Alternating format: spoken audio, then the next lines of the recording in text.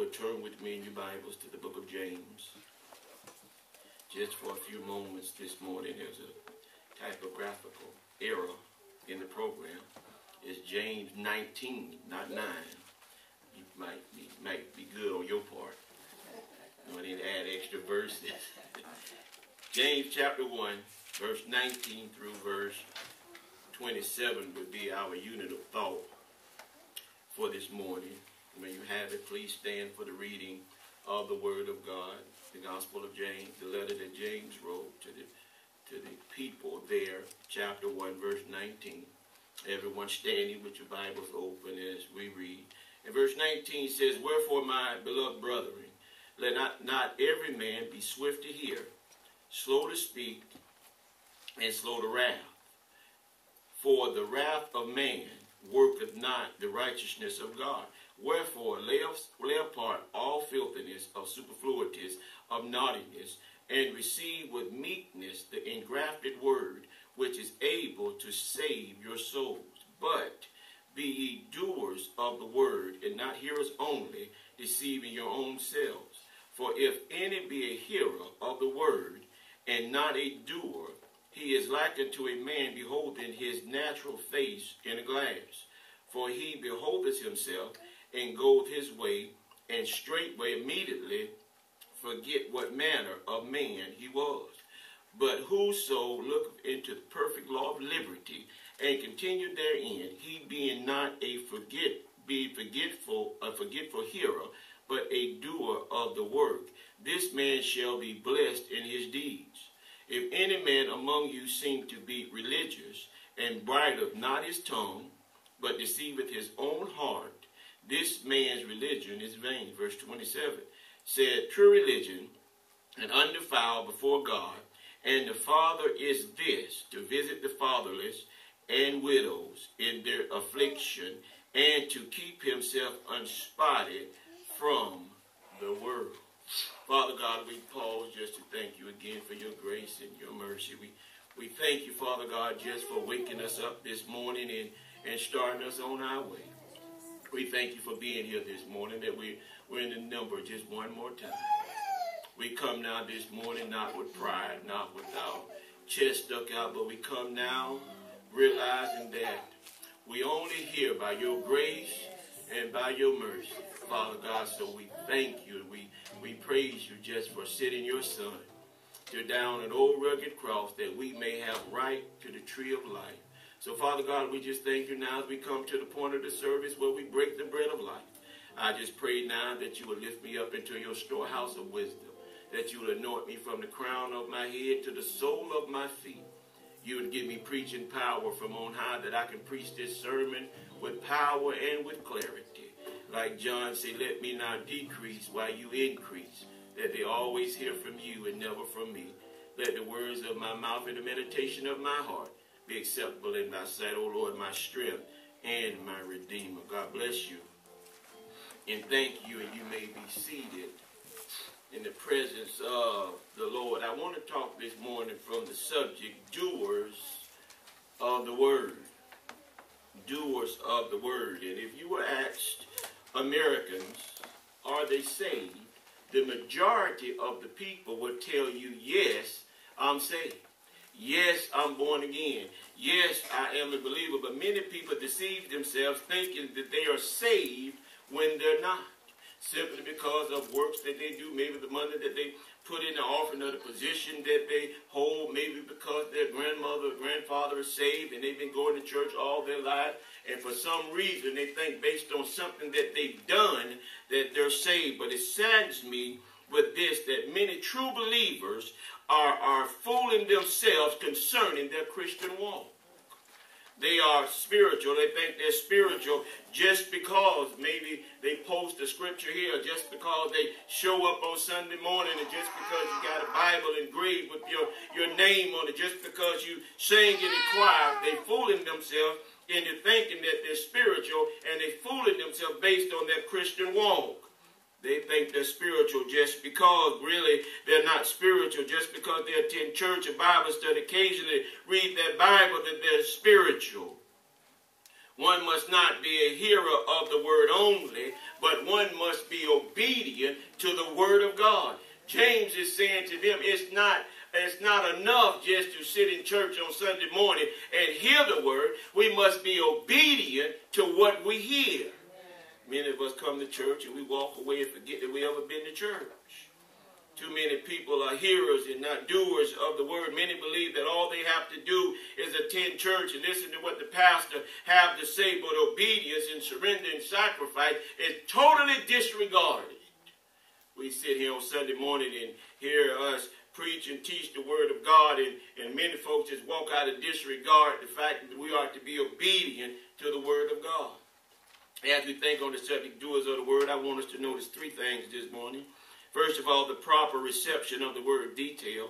Secondly, the public reaction of the word described. And thirdly, is the profound reality of the word uh, defined there. But notice point number one, the reception of the word detail. The Bible says when the word goes forth, it shall return not void. That the word is going to accomplish exactly what it, what it set out to do. So when we preach the word with power and with clarity, but we also must remember that when the word goes forth, the word must settle on good ground. You know, when you decide you want to plant a harvest, you till the ground. You turn the ground upside down. You fertilize it. You get it prepared when you lay the seeds. You don't walk out there and just take the seeds and throw them on the ground. On the hard soil that is not broken. This is the way our heart have to be. When we come to church, we must be ready to hear the word of God. And this ought to start at home. When we're at home, we ought to start that preparation of getting our hearts ready, getting our, our soul ready so we don't have to come to church dead as a rock and the praise team have to catch us on fire so we can get on fire for the Lord. But what happens when the praise team don't catch you on fire? Then what? You ought to bring that fire with you. It ought to be that preparation at home so when the word goes forth, your heart is tender and is ready to receive the word of God. Just like in the book of Acts with the Ethiopian eunuch. As he went, the eunuch heart was already ready to receive the word of God. All Philip had to do was preach the word. And our hearts ought to be ready. That's why it's so important to be obedient to the word of God. But notice the command that's revealed there in verse 19. And it says, Wherefore, my beloved brethren, let every man be swift to hear, slow to speak, and slow to wrath. That word wherefore, put a period there. We have to stop and look what went wherefore or what went therefore. What was just said? He's simply going back and talk about, well, Jesus said, we're never tempted. He'll never tempt us to do evil. That all good things come from God. Whenever you see wherefore, you got to stop there and look what just was said. It's like a connection. It's a connector there. So what he was talking about previously was about temptation. God will never tempt us to do evil. Now, if you're tempted to do, to do evil, that is not of God. That is of the devil. Amen. And all good and perfect gifts come from the Lord on high. But notice he said, brethren, that means to believers. He commanded them to do three things. Now, if you want to receive the word of God, listen, there's three things you must do. First of all, if you're taking those, write this, write this down. To be swift to hear, quick to listen to the word of God. Now, if you want to receive the word, you got to be swift to hear, quick to listen to the word of God. This is especially important in the first uh, century with the believers because they didn't have Bibles. They didn't have the New King James Version and the King James Version of the Bible with the with the thumb index and the red letters in it. So everything they heard, it was oral. So they had to listen and they had to remember what was said. So it's vital that we hear uh, the word of God. Faith coming by hearing and hearing coming by the word of God. It should be our desire as believers to hear the word of God. And Paul Peter says it's like the the sincere milk of the word. You ever had a baby and the baby was hungry and the baby would constantly cry and cry until the baby's fed. That should be our desire to hear the word of God. Just like a new baby desire the sincere milk, uh, we should have that same desire as believers. We should want to hear the word of God. We should want to read our Bible. We should want to listen to, to sermons. Psalms 1 say we ought to meditate on the word day and night. People are focused on everything but the word of God. If you want to tell where a person's heart is. It should be the old saying, but look at that checkbook. Look at that credit, their credit report. If you want to know where their heart is, our heart ought to be on the Word of God. Our, our mindset and everything that we do, we ought to have that desire to hear the Word of God. You have so many preachers today have altered the Word of God. They're no longer preaching and teaching what thus said the Word of God. Now it's health and wealth and naming and claiming. Now it's the grace movement, but there is no preaching on the Word of God. Many have faltered and failed and, and turned to the side, like Paul said, to vain jangling. They want 20 minutes of sermon and, and about three hours of service. They, one guy told me, he said, our butts can only handle about 20 minutes of preaching. But you can sit there for two hours of singing, four hours of a football game, three hours in a hairdresser. But yet when it comes to preaching, I can only absorb 20 minutes. First of all, we need to be swift to hear, but secondly, we need to be slow to speak. That means not to be quick to speak, Think about what you want to say before you say it. Because once you say it, you can't take it back. Especially when we're angry. We need to be careful about what we say. Now, the motive of the, the, the words when we're angry is like a knife. It's a dagger we trying to uh, get back at them. But once we settle down and calm down, then we regret what we say. See, listen, we got to be slow uh, uh, to speak. God has given us two ears in one mouth. Have you ever thought about that? Why do we have two ears in one mouth? That we listen twice as much as we speak. James is not telling us that we should take a vow of silence, nor does he mean that we are to bar any reaction of, the, of a Bible study or a lesson. But what he's calling us to do is plain old common sense, the principle of thinking before we speak. So we ought to listen. Now, you can't listen and talk at the same time. And oftentimes we open our mouth just long enough to change feet.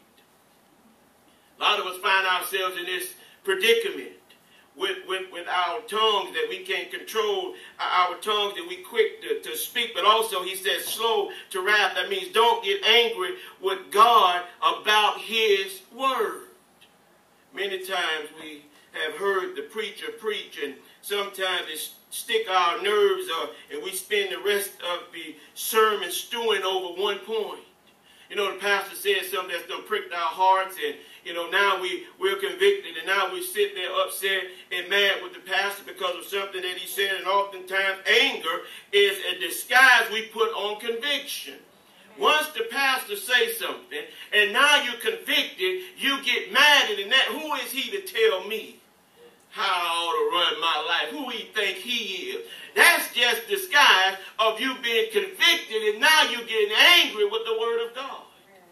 Like he said, don't get, I think was Samuel said, they're not mad with you, they're mad with God. No, you're not mad with me. So you get mad all you want, you're mad with God because it's God's word. I'm simply just telling you what God told me to tell you, but he said you got to be slow to wrath. You got to slow to, to get angry when especially when it's dealing with the word of God. That disguise of conviction. The Lord is telling James to tell the people to control their tendency to fly off the handle and let and let God's word get deep down into their to their soul and work out the things that are hidden under their super sensitive feelings. We ought to let the word that we hear get down and penetrate even into that area where we're very sensitive you know, that's why a lot of folks get mad, don't want to come to church, is because they don't want to hear what the pastor has to say. They know that it's going to bring about a conviction, and they don't want to be convicted. Just like David, when the prophet gave him the parable, talked about there was a man that stole this man's little ewe lamb and only one he had. This man had plenty of lamb, but this man had only one little ewe lamb, and he stole his lamb. And David said, Who is that man? I'll put him to death. And the prophet says, You. You that man. The one that stole his ewe lamb, but the word ought to uh, get internalized on the inside of us. Listen, that, that it might change us from the inside out, even those areas where we are sensitive and we don't want anybody to say anything about it. If we want to receive the word, we got to be swift to hear, slow to speak, and slow to wrath, but not only the command that's, that's revealed, but notice the caution there received in verse 20, and it says, For guard, here's because, here's the reason, because the wrath of man worketh not righteousness of God. This means man's anger and indignation does not produce God's righteousness. When we get mad, we get an attitude, we fly off the handle. I guarantee you, you did not do anything that's godly. He said when we get mad, and we fly off the handle, that which we do does not bring glory to God. That which is right or God honoring. Like Jeremiah say, the heart is deceitfully wicked above all things, and who may know it? It's the tendency is not to incline us to keep the law, but to break the law, and it does not incline us to embrace the truth, but it's totally the opposite. When we get mad, our words are, I show him. I show her. I show them. I can do what I want to do. When we get mad, it does not produce godly righteousness. God told Moses to speak to the rock. Guess what? Moses got mad with God, and not only he didn't speak to the rock, but he struck the rock two times, and for that he lost his place inside uh, of the land of, of Canaan. Jonah was told to go to Nineveh and preach the message to the Ninevites, but Jonah got mad. And Jonah ran from God, found himself in the belly of the whale. He's cautioning us to tell us that when we get angry and we fly off the handle, it does not produce anything that is godly. But notice the conviction that's revealed, required there in verse 21. It says, Wherefore, lay apart all filthiness and superfluities of naughtiness, and receive with meekness the engrafted word which is able to save your soul. If we receive the word of God and it's rooted in our hearts, we will do well. See, when the word is heard, it's internalized, it's understood, we'll begin to get rid of the more filth and the evil that is prevalent in our lives. The word of God on the inside of us with the Holy Spirit ought to bring about a conviction on the inside of us that we ought to try to live moral, right lives before God. We ought to humbly accept the word that is planted in you, which can save all of us. But there's barriers. James says that not only for the hearing of the word of God, but there's also barriers in accepting the word of God. See, when we're saved, we're new creatures. All things pass away, all things become new. The Holy Spirit that indwells in us should bring about a conviction of our wrongdoings. But see, there's a problem. There's a problem with receiving the word of God. First of all, notice number one thing, upon the, uh, the conviction required, number one, herein, herein lies the problem. The fact that an immoral lifestyle produces a barrier to accepting the word of God. If we are in an immoral ungodly lifestyle, it puts a barrier between you and the Word of God. See, everybody understands even the sinners. Those that are in an ungodly lifestyle, there's a barrier to accepting the Word of God or the gospel. It's no secret to anyone, even good church folks as well. Living with sin in your life grieves the Holy Spirit.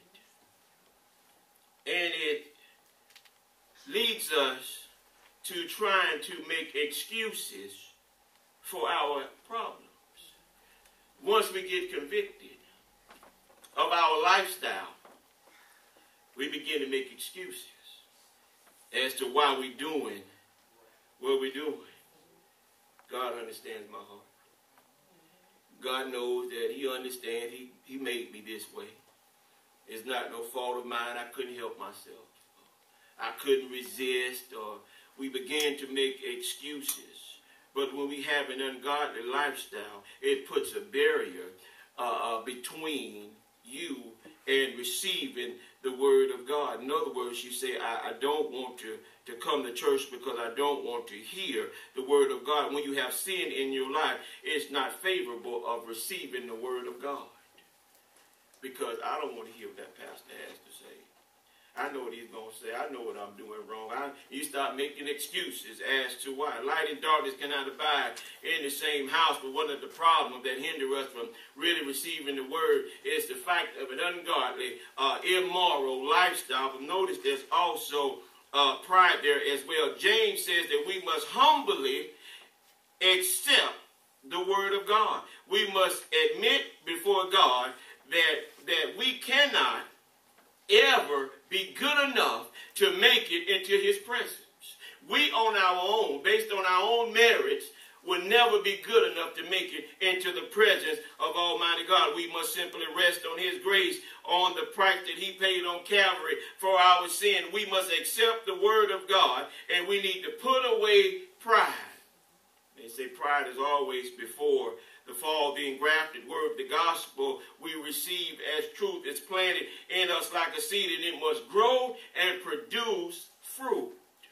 Now, a lot of us say we're Christians, and, and I've said this throughout the years. I don't have a heaven nor hell to put anybody in. If you say that's between you, you and God. But the Bible says you know a tree by the fruit that it bears. Because if you don't bear any fruit, you can't tell what type of tree you are. And also, the Bible says a good tree cannot bear bad fruit, and a bad tree cannot bear good fruit, and you're just like the tree or the fruit that you bear. So we have to be careful about pride. And when we're Christians, we ought to be able to prove that we are Christians by the fruit that we bear. Some people trust in their own good life uh, to get them to heaven. But he said we ought to depend on the, the engrafted word. We ought to depend on the word of God that which is able to save us and we not save ourselves. It's prideful people that say, well, listen, I'm good enough. You know, I can do enough work. I can pedal that back enough. I can knock on enough doors, sell enough bean pies in order to do such good works that I'm in the presence of Almighty God. That's a prideful statement. He said we ought to put away pride. We ought to put away any ungodly, immoral lifestyle that is before us. How can you come to church and then you continue to go home and you have an ungodly lifestyle?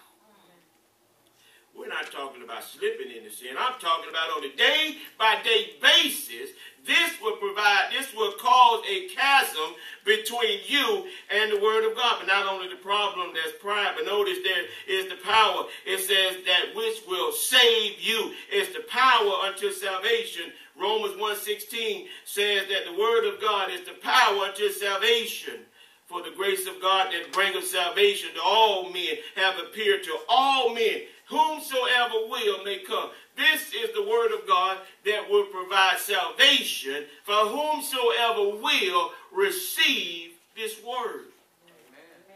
Amen. None was excluded from the offer that the provisions was made for all people that all might be saved, all might become to the knowledge of the saving faith of God. This is the power unto salvation.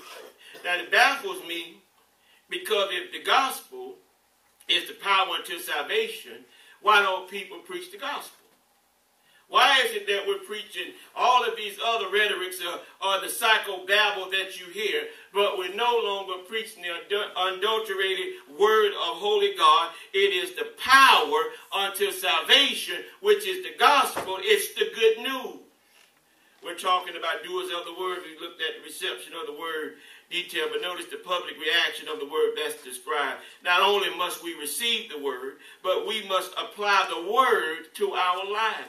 It's not enough just to sit in church, just to listen to a sermon that I'm preaching if you're not going to allow the word to get internalized on the inside of you and you're going to be doers of what you hear. James is talking to the ones now that, that just simply hear the word, but they're not doers of the word to illustrate the difference between those that merely hear and those that are hearers and doers. James used the illustration of a man looking into a mirror. But notice the condemnation recorded there in verse 22. And it says, but, there's a redirection of thought. And it says, but ye doers of the word, and not hearers only, deceive your own selves. For if any man be a hearer of the word and not a doer, he is like unto a man beholding his natural face in a glass. The Word of God here is presented as a mirror to show us what we really look like. Now, if you want to know what you really look like, it's not for me to compare myself to Deacon Swanson or, or Minister Byrne. If I want to know what I really look like, I compare myself to the Word of God. I take the Word of God, put it up against my, my life. It's like a mirror to me to show me what I really look like. Without a mirror, you can deceive your own self into thinking that you look good. If you don't look, or, or if you're looking in the wrong mirror, I can compare myself to somebody else, and I can say, well, you know what? I'm really not a bad person compared to this person. But if I pick this person, I, I look like a wretch undone. But we usually would pick a person that's lower than us to make ourselves look good. But without a mirror, without the word of God, we can't tell how we really look. So James used the mirror as an illustration of the Bible. But notice the deception there. He addressed the ones that are hearers and not doers of the word. Many folks today sit in church Sunday after Sunday, hear the word, and never heed to what's said. Those that just sit and listen to the word with no obedience to the word of God. In other words, like mom and them used to say, it go in one ear and out the other. I just told you a minute ago, in one ear and out the other. I think that's what happens many times with churchgoers and, and church folk. They hear the word, they go in, and by the time they get to the parking lot, it's to went out the other side of the ear. But now he's talking about those that are hearers only. But notice the deception. It says, but is a redirection of thought. But keep on doing and not hearing only. The ones that hear only are deceiving their own selves. That you sit in church and you're not here. You, that's a, it's bad when somebody else deceive you. But when you deceive your own self, that's worse. That you sit in church and you hear the word, you know right from wrong, but yet you still won't do it. You keep on doing, uh, just keep on hearing and not doing. The scripture says, Why call me Lord, Lord, if you're not going to keep my commandments? They think they're spiritual, but they're really not. Those are the ones that run around in the church, levitate over the building, jump over the pew. Those that have the posting on Facebook, those that names on the roll of the prominent churches, you think that you're spiritual just because your name is on a church that has more than 20,000 members. They think they're spiritual. But the ones that are spiritual are the ones that hear the word and do the word. Ones that hear and do. Not just sit here and hear the word and not do what the word says. But the dilemma here is the hearers are like a man who sees himself in the mirror and walks away and forget what he looks like. How many of you ever done that? You know, you can look at yourself in the mirror, you walk away, you still can remember what you look like, because either you you gonna say, well, I look good, or I look bad. You're not normally I'm jacked up, but yet you go back to business anyway. The righteous man will look in the mirror, and he'll look at the mirror, look at the word, and he'll act upon what he sees. When you look in the mirror and you jacked up, you tend to change what's wrong. If your hair is not combed, the track is falling out, your tie is crooked, your jacket is on wrong, you're not going to walk away from the mirror and say, oh, don't worry about it.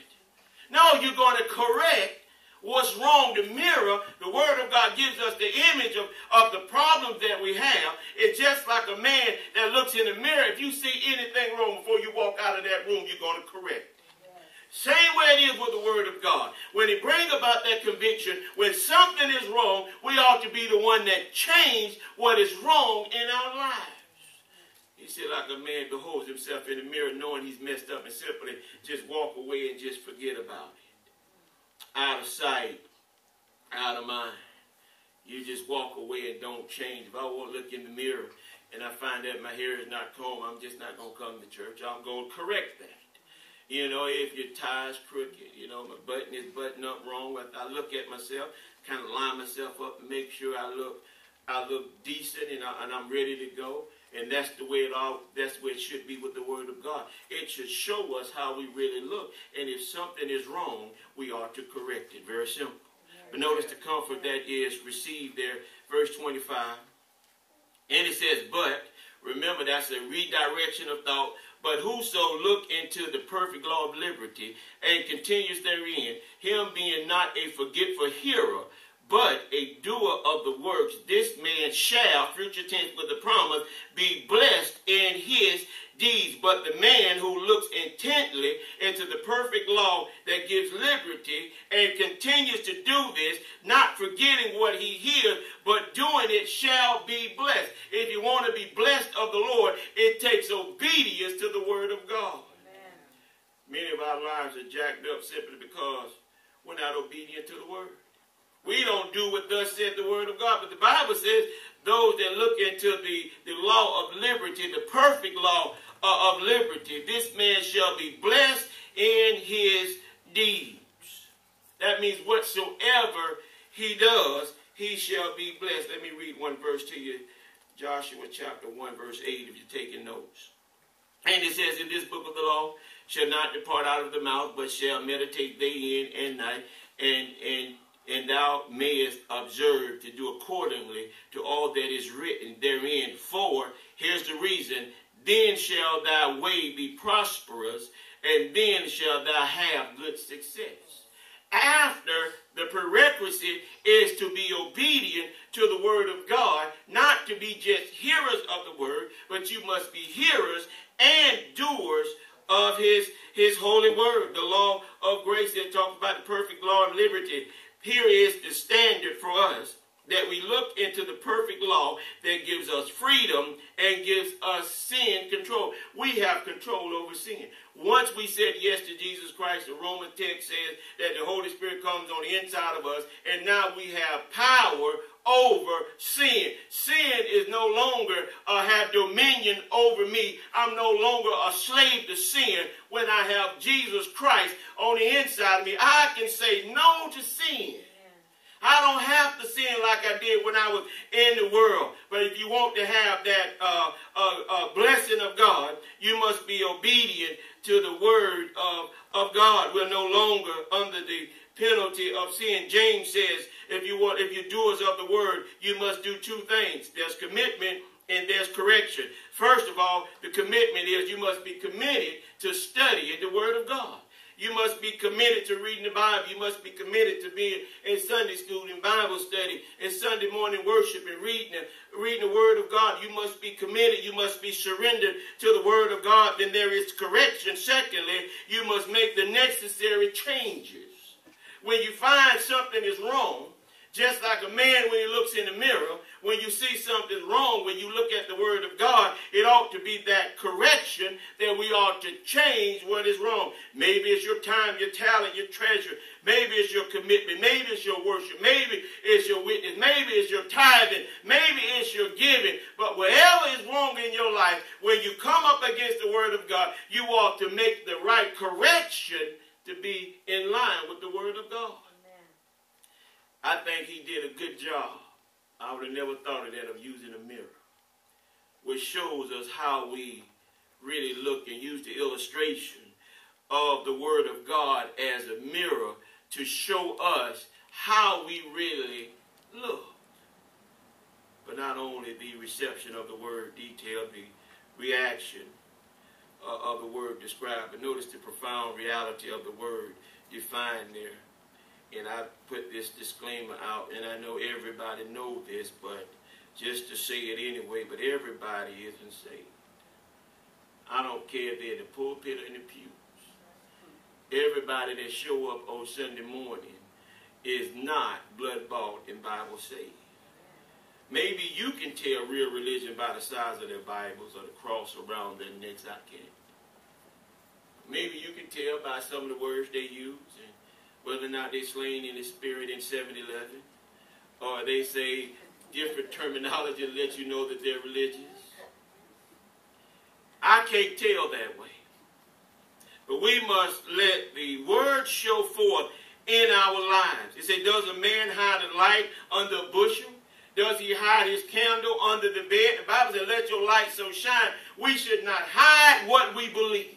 If we believe the word of God, we ought to make a stand with the backbone and a spine in that which we believe. You better believe the atheists. You better believe the ungodly people. They're making a stand for what they believe. You know, the, the homosexuals that come out the closet and we went in the closet and cut the light out. They're making their, their, their, their, their presence known And we as believers ought to also make a stand. For what does the Word of God say? Vice what they say. Forget about all of that. What does God say about an issue? We should not ever, ever hide our light under a bushel or under a bed because I'm afraid, because I don't want to uh, uh, shake it up. I, you know, I don't want no ripples, and I don't want to bring no attention to myself. In order for us to have a pure religion, we must do the following. It's three things, and I'm, I'm close. To have a life that honors God, we must do three things. But notice, first of all, the control that's required. Look at verse 26. If any man among you seem to be religious, and bridleth not his tongue, but deceiveth his own heart, this man's religion is vain. That word vain means empty or void. Notice the control that's required. In being religious, that's saying and doing, we show our external observation. Listen, in public worship, in church attendance, in prayer and fasting. But if you cannot control your tongue, you deceive your own self. James talks a lot. He gives a whole uh, chapter just about the tongue that is the smallest member, but it is full of deadly venom. This is the last, I believe, the last of all that it is to take us to get under control. is the tongue. The tongue is an awful thing. It's a small member, but yet it's full of venomous uh, uh, deception. But he's simply saying now, you come to church, you can do all that, you pray fast, put all your money in, in the offering, but if you can't control your tongue, you deceive your own self. Our words reveal whether we're good or bad or what kind of person we are is by our words out of the, the heart speaketh man. Out of, out of the abundance of, of our heart, we speak. All you got to do is talk to somebody long enough, you can find out what they love. Just talk to them long enough.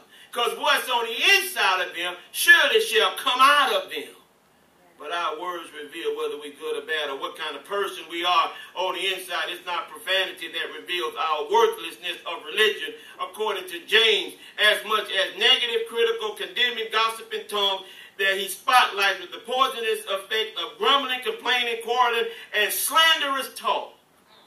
He said, This is what that proves that our religion is not pure. When we're grumbling and complaining and, and gossiping and backbiting, this is the evidence of a phony faith, one that cannot control their tongue. A lot of folks probably all maybe all been out of shape now. Remember what remember about getting mad. Don't get, don't get mad. I be slow wrath.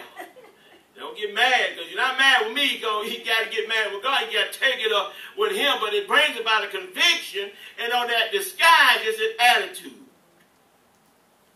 But I believe when we able to control our tongue, that's at the highest level of our Christian walk with God. I believe that that's the last one. And once we can control that tongue, then we will be at a high level of religiosity. I don't even know if that's a word or not, but if, if it is or not, well, I just coined a new word. Put that one in the dictionary. Long, on, on the side of uh, selfie is now a word. Control required, but notice the compassion that's revealed, verse 27. And it says, a pure religion and undefiled before God and, and the Father is this that we visit the fatherless and widows in their affliction, and to keep himself unspotted from the world. The compassion that's revealed, James uses the concern of the need of widows and orphans because, for an example, simply because in those days they had no one to care for them but the church. Now, if you were married and your husband passed away, you were in, you were in, you were in pretty bad shape. If the church didn't take care of you, then you was in bad shape. That's where we get the oldest profession from. Because when she was there, she had no, she had to do what she had to do. But listen, he used this as one example of how real religion acts. He never forgets about those that are in need and those that cannot help themselves. This is a reason how you show how you show that your, your religion is pure, that your Christianity is right, your life is right, that we never forget about those who can't help themselves. We never forget about those that are in need, the orphans and the widows, had no means of support other than the church, and also those who are sick and those that are bereaved, those that have lost someone in their life. See, we ought to have compassion. We ought to be able to look back and say, God had compassion on me. I was lost on my way to a devil's hell, and God sent his son to die on the cross while we were yet sinners. Christ died for us. It ought to be that compassion that we can share for someone else. I may not be all that I should be, but I'm glad I'm better than what I used to be. That God had compassion on us, that he sent his son to die on the cross for us, we ought to have that compassion that we can stand, extend to others that are hurting, others that, that are in need, others that, that, that need help, those that are sick, we can go by and visit them, that, that are bereaved of loved one. Maybe they lost someone in the family. We ought to be there to comfort them, to pray with them, to console them in their time of need and trouble. This is one of the proof that we have a pure religion. First of all, we have that we go and that we are concerned about others and that we're able to control what we say. But notice lastly, our our conduct in the latter portion of verse 27. And it says, and it's a conjunction to what we just said, and to keep himself unspotted from the world. At times, religious folks are being polluted by the world with such things as movie, television shows, hanging with the wrong crowd, going to the wrong places. These can certainly qualify as sources of moral and spiritual pollution. Be not conformed to this world and this world ideologies, this world's uh, uh, uh, disposition. We're not to be conformed to what the world loves because the Bible says if you love the world, you're an enemy to me, to God. So we ought not to love the world or the things that's in the world, but we ought to be transformed by the renewing of our minds. We do well to teach our children that, listen, to remind them that, that, that evil companions do corrupt good manners. And that simply means you can have a good child. Let your good child hang around the wrong child or a bad child. That bad child can corrupt your child. So we have to be careful about who our children hang around with, where they go. We ought to have that conduct in our lives that it is unspotted, that the world cannot lay claim or blame to anything that we that we do. We ought to have a life that is pleasing to God. We shouldn't have a life where Everybody can lay claim, well, Pastor Edwards did this, or Pastor Edwards did that, or he did this. I saw him doing this. I saw him going there. I did that. You know, that shouldn't be our claim.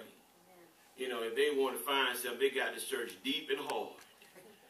or maybe they're going to have to go back at least 13, 14, 17 years. You know, you go back then if folks try to dig up something, but you won't, you won't find nothing now. And you're going to have to dig deep uh, try to, that's the way our lives ought to be. It ought to be where people just can't look at us and say, oh, he's no good, that sorry preacher, he, uh, he, everybody had their eyes closed, he was stealing the money out of the offering tray. I know y'all heard that one. That's, that's a true one there. That shouldn't be our case. As believers, we ought to be the example, not the exception to the rule when people see our lives, it ought to be a reflection of God. They ought to be able to see us and say, you know what, I want my life to be just like that. I want my life to be like Pastor Sister Cheryl. I want my life to be like that. You know, I want to have a life that's pleasing to God. When we look at some of the believers, you be saying, wow, boy, that's a Christian. I don't want no parts of that. But that shouldn't be our story. We should uphold God's standards, like they say in the old days, the blood-stained banner what we should uphold in our lives should let God be glorified in what we do. Whatever they see, they say, I don't know what's going over there, blessed hope for God. Well, they changed that person, but I got to go over there and find out what's going on. That's the way it should be. We ought to hear the word. Let the word penetrate, internalize on the inside of us, that our lives are reflected of the Christ that's on the inside of us. So when people see us, they'll see Christ on the inside of us. And that will give them a thirst, a hunger for the word. And I know one of our members are here today, and I know she might, she don't probably don't care if I share this, but she's here. Sister Sherry's here because of someone else. She saw something in them that changed, and she said, "Well, let me go see who or what made this person the hottest. But see, that's the kind of hunger and thirst our lives are to produce to those on the outside. They say, well, listen, I need to go see what's going on. Not the opposite. But I say this in our close. It's not enough to be heroes only, and I can't, if I, the serious as I can be is, is that I am now. That we not only be hearers only, but we be doers of the word. And we don't waste our time just, I know you guys don't come here just enjoy listening to me talk. That can't be the case. That you just want to listen. You come here because you just like listening to me talk. I don't think that's the case, but let's not waste our time by just being hearers and not doers of the word. God holds us responsible for what we hear and what we do. And one day we all will stand before that bema seat, that the judgment seat of God, and we must give an explanation of all that we've done in the body since we've been saved. I don't know if God's going to ask the question how it's going to work, but you're going to give an account of all that you've done in the body. And God may ask you why. You've been in church 27, 30, why? You're going to have to answer. But my last thought, let this stick with you. And you'll have to raise your hand and say amen or oh me. Are you a hearer or are you a doer of the word? Now, if you say I'm a hearer only, I would suggest that this day, today, you make it your business not only to be hearers, but also to be doers, to be obedient to what thus said the word of God in order for God to bless you. God said, I will withhold no good thing for him that walk upright before me. All that is supposed to be coming to me I want all my blessings.